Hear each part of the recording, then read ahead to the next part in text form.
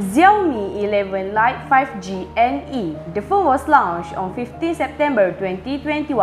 It's packed with 128GB internal memory with 6GB RAM, 128GB internal memory with 8GB RAM, and 256GB internal memory with 8GB RAM.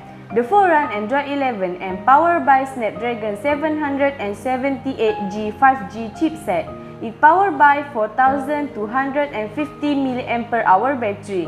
Let's take a look the full spec and price. What do they offer?